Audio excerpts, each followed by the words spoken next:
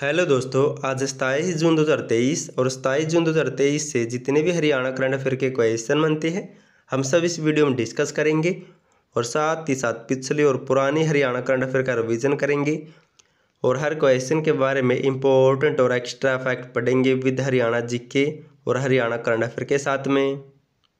Question number one है, हरियाणा के किस ज़िले की दिशा डागर ने चेक लेडीज़ ओपन टूर खिताब जीता है? तो दिशा डागर किस ज़िले से बिलोंग करती है? तो इसका राइट आंसर होगा ऑप्शन सी झज्जर ज़िले से बिलोंग करती है। अब जान लेते इसके बारे में। झज्जर ज़िले की गोल्फर है, दिशा डागर ने लेडीज़ यूरोपनीय टूर पर चेक लेडीज़ ओपन 2023 का खिताब जीता है।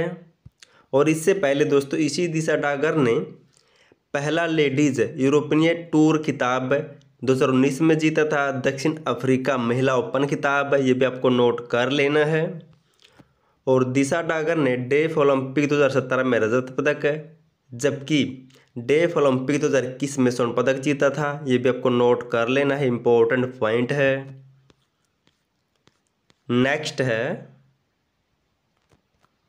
हरियाणा राज्य में किसके द्वारा नशीली दवाओं के सेवन व अवैध तस्करी के विरुद्ध नशा मुक्त हरियाणा अभियान की शुरुआत की गई है। तो इस अभियान की शुरुआत की गई है ऑप्शन ए, मुख्यमंत्री मनोहर लाल के द्वारा। अब जान लेते हैं, हरियाणा सरकार द्वारा हर वर्ष की बात इस वर्ष भी 26 जून 2023 को नशीली दवाओं के सेवन व अवैध तस्करी के विरुद्ध अंतर्राष्ट्रीय नशा मुक्त दिवस पर पंचकुला ज़िले से मुख्यमंत्री मनोहर लाल ने नशा मुक्त हरियाणा अभियान की शुरुआत की है। अब ज़िक्र हुआ था अभियान का। तो हरियाणा में स्वच्छ हरियाणा, स्वच्छ भारत अभियान एक नवंबर 2014 को शुरू हुआ था। और हाल ही में बेटियों के सम्मान में श्री विश्वकर्मा कौशल विश्वविद्यालय ने 9 जून 2023 को सेल्फी विद डॉटर अभियान शुरू किया है। और यह अभियान विशेष तौर पर दिव्यांग बेटियों को समर्पित है। और हाल ही में राज्यपाल बंडारू दत्तात्रेय ने 17 सितंबर 2022 को पंचकुला ज़िले से प्रधानमंत्री टीबी मुक्त भारत अभियान की शुरुआत की थी। नेक्स्ट है, हाल ही में मुख्यमंत्री मनोहर लाल ने किस ज़िले को बल्लभगढ़ के साथ मेट्रो से जोड़ने की घोषणा की है? तो बल्लभगढ़ को दोस्तों मेट्रो के साथ जोड़ा जाएगा ऑप्शन सी पलवल ज़िले के साथ। अब जान लेते हैं, मुख्यमंत्री मनोहर लाल ने बल्लभगढ़ को पलवल के साथ मेट्रो से जोड़ने की घोषणा की है। अब ज़िक्र हुआ था मेट्रो ट्रेन का। तो हरियाणा में पहली ट्रेन 14 फरवरी अठारह सौ तिहत्तर को रेवाड़ी से दिल्ली के बीच चली थी और पहली मेट्रो ट्रेन हरियाणा में 2010 में गुरुग्राम में चली थी और सीएनजी ट्रेन भारत की पहली सीएनजी ट्रेन रेवाड़ी से रोहतक के बीच 13 जनवरी 2015 को शुरू हुई थी। नेक्स्ट है हरियाणा के रणवीर सैनी ने बर्लिन में हुए special Olympic world summer games 2023 में कौन सा पदक जीता है? तो रणवीर ने दोस्तों, इसमें ऑप्शन ए स्वर्ण पदक या गोल्ड मेडल जीता है। गुरुग्राम के रणवीर सैनी ने बर्लिन में हुए स्पेशल ओलंपिक्स वर्ल्ड गेम्स 2023 में स्वर्ण पदक जीता है और एक गोल्ड हमें जीता स्वर्ण पदक ये भी आपको नोट कर लेना है।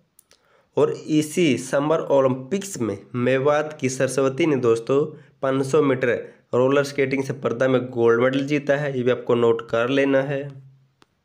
नेक्स्ट है, हरियाणा के किस विश्वविद्यालय की छात्रा साहिबा को सर्वश्रेष्ठ यूथ कोऑर्डिनेशन के पुरस्कार से सम्मानित किया गया है? तो यह पुरस्कार दिया गया है ऑप्शन ए के यूनिवर्सिटी की छात्रा साहिबा को। अब जान लेते हैं हरियाणा के कुरुक्षेत्र विश्वविद्यालय की यूथ रेड क्रॉस वॉलेंटियर साहिबा को सर्वश्रेष्ठ यूथ कोऑर्डिनेशन के पुरस्कार से सम्मानित किया गया है।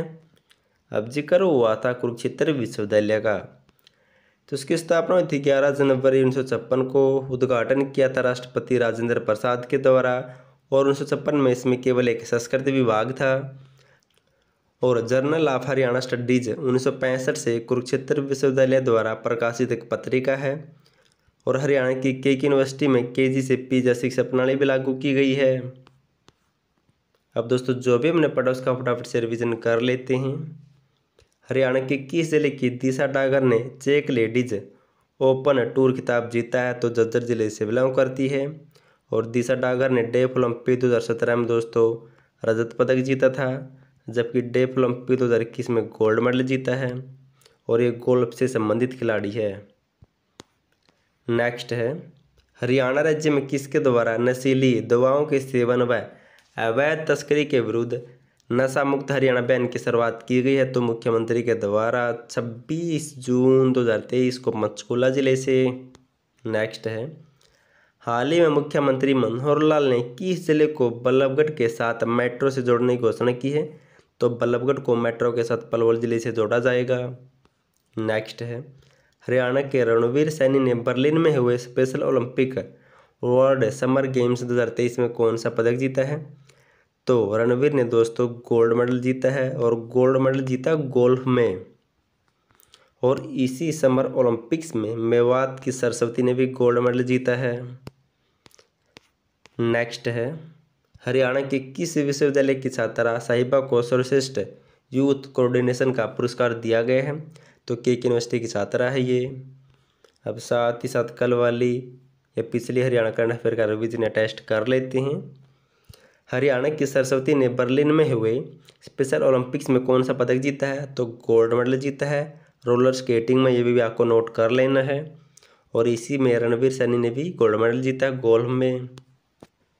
नेक्स्ट है, हरियाणा के किस स्थान ने विंड ब्लास्टिक मशीन का निर्माण किया है? तो एंड्राई करनाल के द्वारा। नेक्स्ट है, हरियाणा का कौन सा रेलवे स्टेशन जहाँ पर यात्रियों व ज़रूरतमंद लोगों को प्रतिदिन मुफ़्त खाना मिलता है तो चरखी दादी रेलवे स्टेशन पर। नेक्स्ट है, हरियाणा के किस ज़िले में आयुष एम्स परियोजना विकसित की जा रही है? तो पंचकुला ज़िले में। नेक्स्ट है हरियाणा के हमेटी में प्राकृतिक खेती प्रशिक्षण केंद्र का शुभारंभ किसने किया था? तो सुधीर राजपाल के द्वारा। लास्ट वीडियो में आपसे क्वेश्चन पूछा था, हरियाणा के किस व्यक्ति को national counselling of state agriculture board का सीनियर वाइस चेयरमैन नियुक्त किया गया है? तो इसका वाइस चेयरमैन नियुक्त किया गया है आदित्य चौटाला को, और इसी आदित्य चौटाला को हरियाणा मार्केटिंग बोर्ड का अध्यक्ष भी बनाया गया था हाल ही में। आज के लिए आपका क्वेश्चन है हरियाणा के किस ज़िले में स्थित अमृता अस्पताल में भारत का पहला ह्यूमन मोटर कंट्रोल सेंटर शुरू किया गया है। और इस अस्पताल का शिलान्यास कब और किसके द्वारा किया गया था दोस्तों? और ये किस ज़िले में स्थित है, ये भी आपको कमेंट करना है। और अगर आपको हरियाणा करंट अफेयर की बुक चाहिए तो डिस्क्रिप्शन में लिंक मिल जाएगा, वहाँ से डाउनलोड कर सकते हैं। अगर आपको वीडियो पसंद आए तो वीडियो को लाइक चैनल सब्सक्राइब और शेयर ज़रूर कर देना। और वीडियो देखने के लिए थैंक यू सो मच